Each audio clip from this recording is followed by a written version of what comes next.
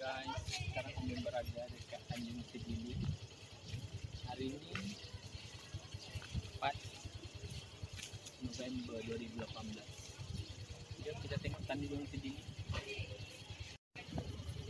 Okay, yang yang sana tu kita nampak tu dia tan, uh, Sejili besar.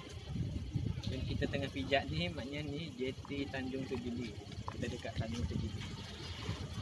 Dekat depan sana ada jambatan yang menghubungkan Tanjung Sejili dengan Sejili besar.